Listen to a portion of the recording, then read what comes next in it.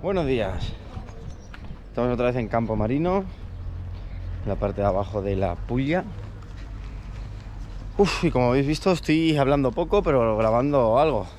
Ya ha pasado casi una semana y nada, estamos aprovechando para bucear, estudiar, leer y también para entrenar. No mucho, pero bueno, estamos corriendo, estamos nadando un mogollón. Esta semana ha salido ya a 9.000 metros de natación, que se dice pronto, ¿eh? Y nada, vamos a bucear hoy que tenemos doble inmersión y vamos a ver unos unos sarcófagos muy antiguos, así que nada, vamos al lío, ¿eh? Espero que os guste los vídeos así también.